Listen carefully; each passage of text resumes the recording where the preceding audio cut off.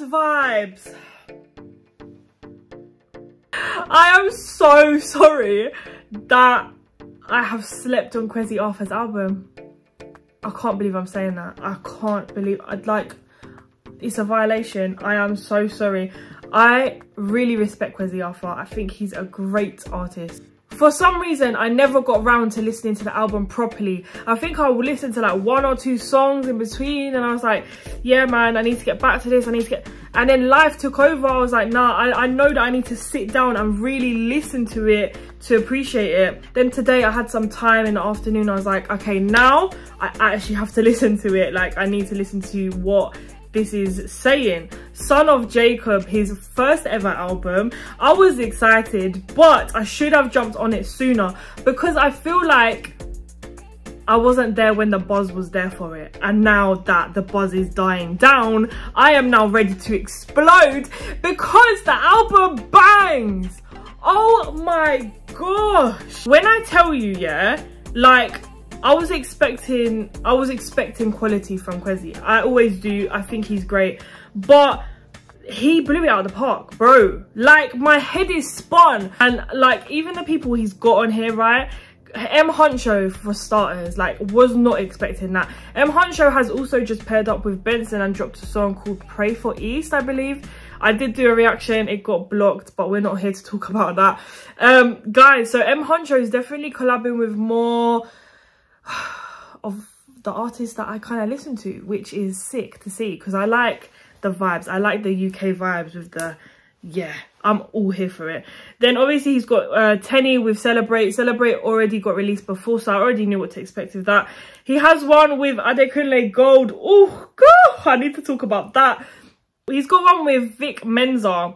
Then he's got two with Day on the Track, yeah? NSG. Right. I was like, cool. I don't know what to expect with these. It is what it is. Let me just start the album and finish the album and see how I feel. Bro, after like track one, I was like, nah. I have made a mistake. Why did I not listen to this sooner?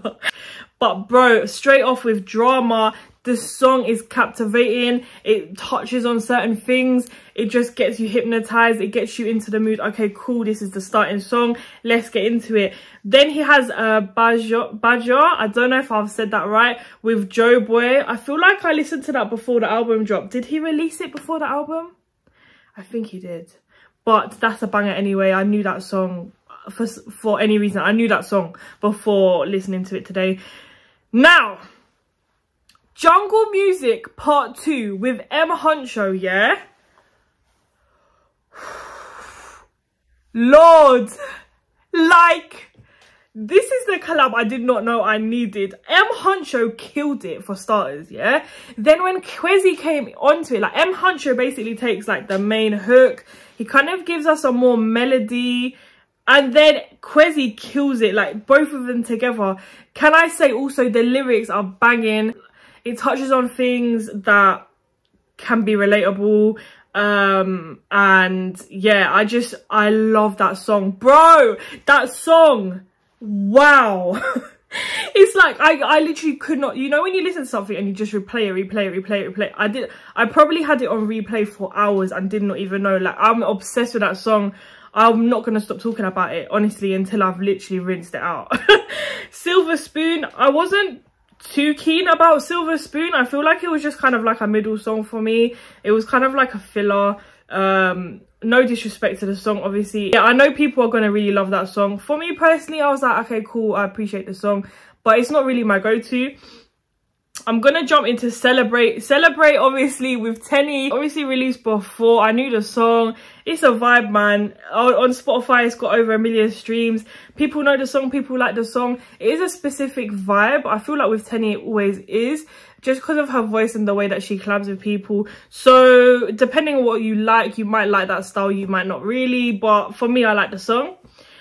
Now, then it goes into toxic. Now listen, the only thing toxic about that song is the fact that it's literally taken over all my brain cells.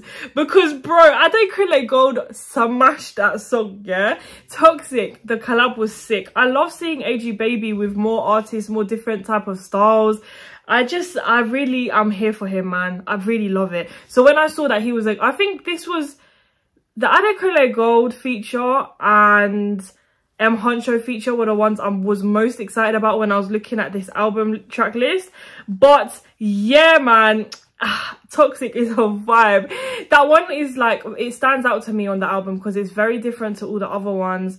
And actually talking about that, like all the songs are actually quite different to what I had thought from Kwesi right now, man. So it gives you different type of feels and different vibes, but it all kind of syncs really well together. And it does seem like an uh, album, like a very well put together album. It doesn't seem too mix and match, but then it's not like the same either, like too similar.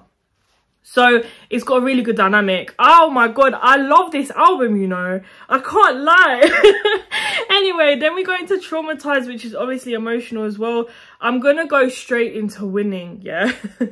winning is like it gets you pumped like winning the beat the everything like it's very um it's much faster it's like really up there with the tempo with Vic Mensa on the tune as well, like the dynamic, the way they switched up and they flowed on the song is a lot, it's heavier rap style, I would say. Winning was sick. Like my brother was in the room when I was playing Winning for the first time and we were just both sitting there like, yes, all right. And then um, my brother started like freestyling on the beat. Like we were just, you know, so I feel like winning is definitely that tune that kind of gets you pumped. If you like rap, if you like Kwesi Arthur when he's proper heavily rapping, I feel like winning is to be your tune. That one for me was a huge vibe. I love that vibe. Now, Day on the track. Am I familiar with Day on the track? Nah, I'm not even gonna lie to you lot. But there's obviously something wrong with me because when I listened to the next two songs, yeah, Mind Over Body and Animal, I was like, wait, hold on a sec. Bruv, like, the sweet voice, the vocals, the vibe he was bringing, I was like, okay, cool, I need to actually check him out. Who is Day on the track? But, bro, out of Mind Over the Over Body and Animal, Animal was my favourite. I kept replaying it like, yo, this is like a whole different experience on this album. It was like tapping into a different style, kind of like, it was kind of like very immersive. I don't really know the words to put it in, but Animal was giving me all the vibes. I feel like that song was just like taking me on a journey. The beat, I really loved everything about that song. Honestly, go check that one out. Diamonds Dancing with NSG. Now, listen it didn't really stick out to me that much guys. Um no disrespect to nsg man. Those are my guys from the uk obviously i respect them. I love them for what they're doing. And yeah i've covered nsg on this channel bare time so you know it's all love. But diamonds dancing for me i don't know man. It wasn't really one that i was like super hyped about. I feel like there's definitely other songs on this album that kind of captivated me more. Not to say Diamond Dancing is not great. I mean, it could be someone else's tune. For me personally, it wasn't really, but go check it out anyway, obviously. Now we come into No Regrets and Adam, the last tunes of the album. Man, I don't even know what to say. It just summed up the album really well. It was like a nice finish overall this album just bangs like go check out son of jacob man. Like i haven't been i haven't been paid to say this. I have not been asked to promo the album. I have not been there's no reason for me to be sitting here and doing this especially because the album actually got released a, a little while ago. So really and truly i could have just let it slide and just you know not even covered it. But i had to come on here and actually give my two cents on the situation because Kwesi killed it. Big love to him, man. I'm really, really am rooting for you. And sorry for sleeping on your album, man. Guys, obviously, show love in the comments. Let me know what you think of that album. For me, I'm not going to lie, it's a solid... Uh, for me, I'm going to say a solid 8 or 9 out of 10. And the only reason why it's probably not a 10 out of 10 is because it's just not really usually my style of music. I don't really cover rap that much. I don't really listen to rap too much. But, and that's probably why. But other than that, I love it. I love the I love the album. So nothing bad to say. Big up Kwesi every time. And yeah man, until next time, obviously message me on my socials by the time you've probably watched this video, I'm gonna be on 50k subscribers.